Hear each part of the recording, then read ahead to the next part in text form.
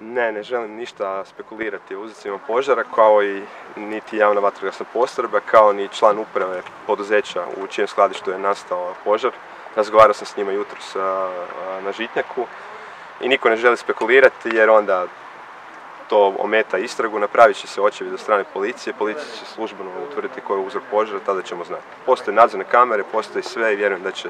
se brzo to utvrditi. Znači kao prvo, odmah da odmah želim reći, kao prvo velika, kao prvo svaka čast i velika hvala svim vatrogascima koji su sudjelovali noćas u gašenju požara. To su većinom profesionalci iz javne vatrogasne postrojbe, a manjim dijelom pripadnici DVD-a. Vi znate da je ono, to je bio ogroman požar, vrlo zahtjevan i ono s čime su se zapravo borili vatrogasci jest upravo da ne nastane veća materijalna šteta. Naime, požar je nastao u skladištu tvrtke i prijetila je opasnost da se proširi na, na, zgradu, zapravo to je sve povezana zgrada, ali postoji jedan hodnik između, na zgradu pogona, a u zgradi pogona su vrlo skupi i vrijedni strojevi i onda su se vatrogasci borili da se to ne proširi. I uspjeli su, samo manjim dijelom je zahvaćena zgrada pogona, jedan jedan stroj je nastradao, međutim velika većina strojeva je spašena i time je spriječeno da nastane znatna materijalna šteta tvrtke u čijem skladištu je požar nastao. Ono što isto tako treba reći jest da hidranti znači, koji su bili na lokaciji su bili ispravni, međutim toliko je bilo vozila da je jednostavno trebala dodatna voda i zato, je, zato su pomoć bili pozvane cisterne gradske firme vodoopskrbe i odvodnje, znači četiri cisterne su bile isto tako na lokaciji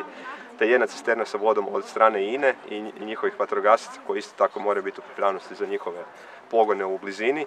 Tako da isto tako su bili naravno na lokaciji zaposlenici gradskog ureda za mjesto samoupravu i civilnu zaštitu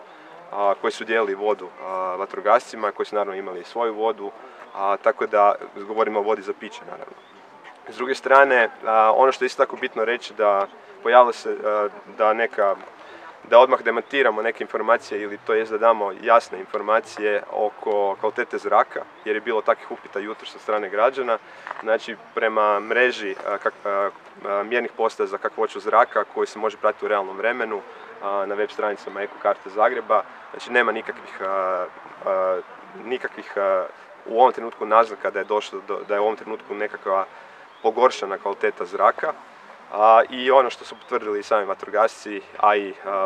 predstavnik tvrtke, da nije bilo nikakvih opasnih tvari u skladištu koje je bilo zahvaćeno požarom. Tako da ne očekujemo nikakve, nikakvu pogoršanu kakvoću zraka, ali pratit ćemo stanje i ako bude, naravno da ćemo tome obavijestiti, s druge strane građani mogu sami pratiti na, na mapi mjernih postaja kakvoću zraka u realnom vremenu.